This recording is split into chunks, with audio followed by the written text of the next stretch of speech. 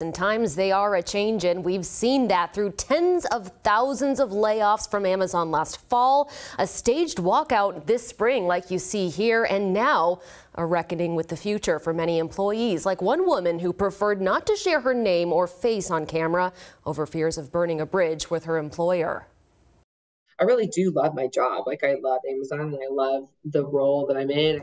In her role, this woman remotely supports Amazon administrators who she says are based in various parts of the country.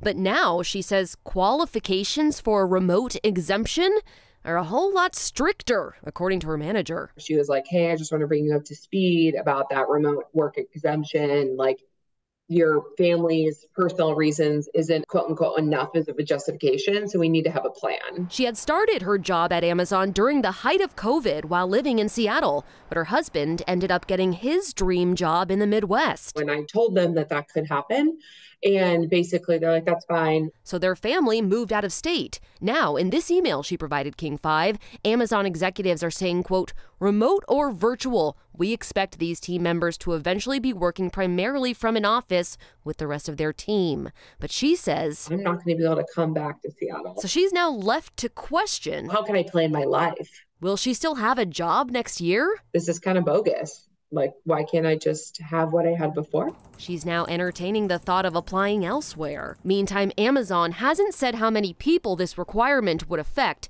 just that there's more energy, collaboration, and connections happening since we've been working together at least three days per week. And we've heard this from lots of employees and the businesses that surround our offices. A spokesperson also said they'll continue to look at the best ways to bring more teams together in the same locations, communicating directly with employees as they make decisions that affect them. But still, questions linger. What is their definition of like enough to get that remote exemption now?